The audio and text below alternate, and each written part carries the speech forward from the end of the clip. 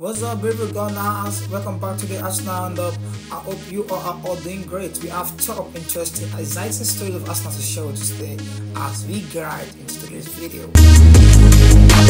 Congratulations to every Arsenal fan as of course we have Riccardo Calafiori finally here as an Arsenal player. Officially, these are official pictures. He is now with the club and of course his new physios, coaches, other medical staffs, and of course, other staff in general working at Arsenal. He is happy to be here, as you can hear in his interview, and of course, we are also happy to have him at the club finally after few weeks now, or even months of speculation and transfer saga going on around his future. So, guys, finally, we have Riccardo Calafiori announced as an Arsenal player yesterday, and of course, let's just give kudos to Edu Gaspar Arteta, and of course the player also for choosing to join us. And yes, we can expect big things from Riccardo Calafiori. So now, the man in question here, Riccardo Calafiori, is an exciting one for us to have at Arsenal because even the announcement video, if you can see, Arsenal said here to make us stronger. So definitely is here to make us stronger in defense and of course the left back row, the right back row, the the center back central midfield, anywhere Arteta deems fit for him to play, he's going to show up because he is well built physically and of course mentally also he is very very strong. So yes, we have a really top player on our ends and of course you can't blame Manchester United fans, Chelsea fans, Liverpool fans of getting envious or getting jealous of Arsenal right now because they know how strong and capable for a squad or a team that had the best the first last season in the Premier League and one of the best in the world, if not the best. Now adding another very, very interesting defender to the squad. Now, it's really interesting to know now where Arteta really wants to play Riccardo Calafiori, but there's one loophole in the defense last season that we could see, though not too obvious, but at the same time, needed to be addressed. And the return of Jurriën Timber by many was seen as the best solution and okay that seals it. Jurriën Timber is back. We don't need to buy any defender. But Arteta is looking out of the box right now like okay I think I can bring in more quality to also compete with Gabriel Magalhaes and also provide that depth we need in the defense line. Because even likes of Jakub Kiwior, Zinchenko now have been linked with exit moves. So if that happens, then Arsenal will have no other option than to have a new defender. So that is why even as we speak, the future of Zinchenko and Jakub Kiwior is still under question. Even because the arrival of Jurriën Timber, just like a new signing, and um, Riccardo Calafiori means that those players, Zinchenko and Kiwior, will move down the pecking order of our defense line. So that is where the situation is at the moment. So guys, how excited are you from 1 to 10 about the arrival of Riccardo Calafiori as a new Arsenal summer signing.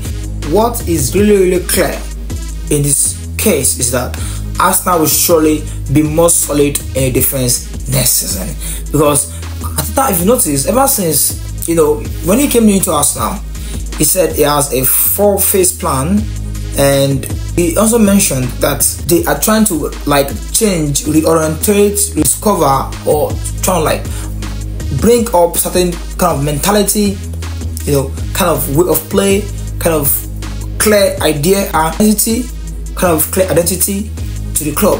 So at some point, people were like, the major issue of Arsenal was was defense. Let me say, under Arsene Wenger, we are a kind of team that kind of like have this attacking flair, you know, technical player, light-weighted and all, you know, we play this kind of football, this brand of soccer that has to do with, you know, using the ball, putting the ball, possession based game, you know, possession based game and, and cool. So when you look at it, definitely the major issue then that made us keep finishing at top four was as well as scoring, we also conceding lots. That's that said. So Arteta came in, Unai before Arteta also tried to put it all out because the kind of manager Arsenal were looking for them was someone that would continue Arsene Wenger legacy. But Arsene Wenger was lucky during his time because uh, as, apart from the, the fact that he's a great manager, he's a respected tactician, he also, you know, had this era whereby some teams just like to defend. So when he's attacking, of course, Arsenal score a lot of goals and then we are able to skip through those games. But in this case, many teams are not coming to understanding right now that when we keep the ball more, then there are more chances of us, you know, trying to win these games off than when we are trying to play against a, a team that is probably better than us. For example, now no disrespect, maybe a team like um, Burnley, who we all know, or say during the time of Arsene they centralized their play on defense, so and long balls and crosses. So when you look at that kind of team, but they're trying to play against or set up against Arsenal, they will try and like play their defense and very very rigid, and we all know them to be one of the best defensive athletes then in Premier League. So now when they do that, they give a team like Arsenal all the time to have the ball and play, and that's why Wenger with you will see Arsene Wenger always like trying to like having possession and his team trying to score a lot of goals against those teams.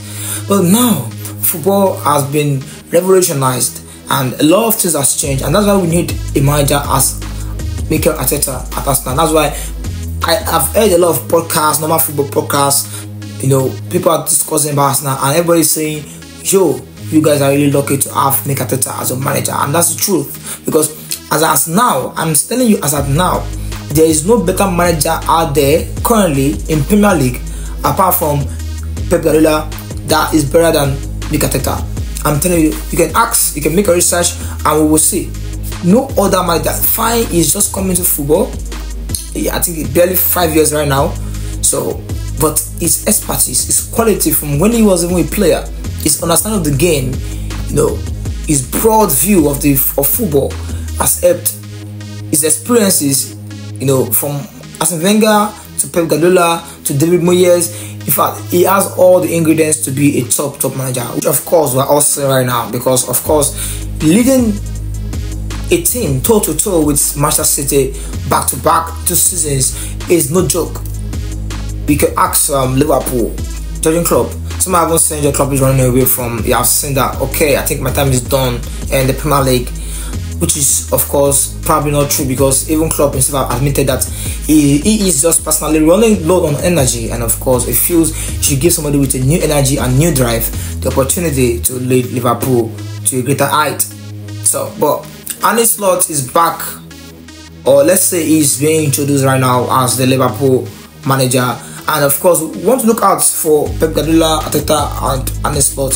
Of course we want to look out for these guys but at the same time it's almost a two-way race because Arne Slot is not going to like come into the team and try and like bring a new philosophy and expect it to just boom Premier League title.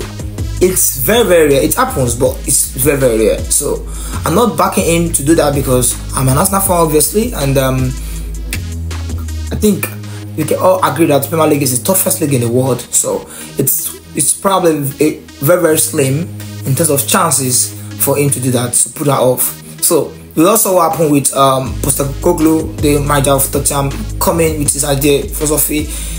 It worked for the first few games before the Premier managers adapted to his playing style, and of course, the rest is history. You know what happened with Tottenham. Our our friends, not good friends though. So guys, let's just say that basically we need a team well coached with a good manager. I've watched this um, Amazon interview or let me say Amazon documentary on Arteta and Asna and that stuff. The process that were involved in his appointment, you know, the shortlist of candidates. I think then we had um, the director of football then Raul Sanllehi who came from Barca to become Arsenal director of football and oversaw the transfers of the likes of Nicolas Pepe and likes you know David Luiz and co. And when Arteta came in, Edu Gaspar also was the technical director, then not even sporting director, uh, he is right now. So he is heavily involved in the process of appointing Arteta. And they said one of the key things they noticed about Arteta is that he has a clear vision and he has the, the passion also. So uh, Edu said his ability to also able to transmit this passion on the players on the field and it's really exemplary and the fact that he also is connected to the club and you can see straight away when he, when he became the manager of Arsenal, he was able to connect the fans and the players again. And I mean, what more of a manager do you want? So, but this is not a Arteta appreciation show, but guys, let's give kudos to Mikel Arteta because Calafiori, our new signing, is also emphasizing the fact that Arteta was the one or the main factor that made him join the club. So he, said, Jorginho, yes, Jorginho, he met him just one month ago and well, he's trying to tell him, come on, join, come on, join, come on, join Arsenal. But he said Arteta is the main reason. That's to tell you that Arteta is able to transmit his passion, his vision to players, and that's why we we are the last season. I don't want anybody to get this wrong, but Arsenal was the best team last season. Fine, we flopped in some games, and it was not obvious though. But the one that we know that okay, yes, this game was really off was Aston Villa game, and of course, I mean, it happens. Manchester City also lost, so it's not as if it's peculiar to Arsenal losing. It's just the timing, the timing, and then we're unable to recover again because of, of course, Manchester City. You know them. When is the last games of the season? They are off the pace. So, guys, that's it. We are so lucky to have this manager. is able to attract. Arsenal now have a model that is attracting many, you know, top players to, to the club. So, in, in a little later, I'm going to talk about one man, um, Trido Martin, but I'll do that in our next video. Yeah, I'll discuss about in our next video. So, but today, what is the other latest Arsenal news we have for today apart from the fact that Calafiori is now an Arsenal player? So, guys, Emile Smith has left the Arsenal camp to Fulham. Yes, he has left for London, where he's about to undergo his medical to become a new Fulham player. And I don't want to dwell on that much again, but we wish Smith the best of luck as he becomes a new Fulham FC player. I've stated in my previous videos already that it's a good move for him, a good move for Arsenal too, better move for him because he needs to move and have first team chances because he has waited and waited, waited, waited for his chances, which were not just coming by. The likes of Vieira, Partey, Jorginho, everybody in the midfield, you know, Odegaard. These chances are not coming for Emile Smith so it's good for him and wish him best of luck. So guys, we'll see and we'll talk more on all these our next video. So guys, that will be the end of the Arsenal roundup today. Don't forget to like, share and subscribe if you're watching us from YouTube. And also please follow, like and also share this video guys. Please, please and please share this video to reach more Arsenal fans so that we can so be encouraged to bring in Arsenal updates for you on this page and on this channel. We'd like to see you in our next video. Until then, your boy is out.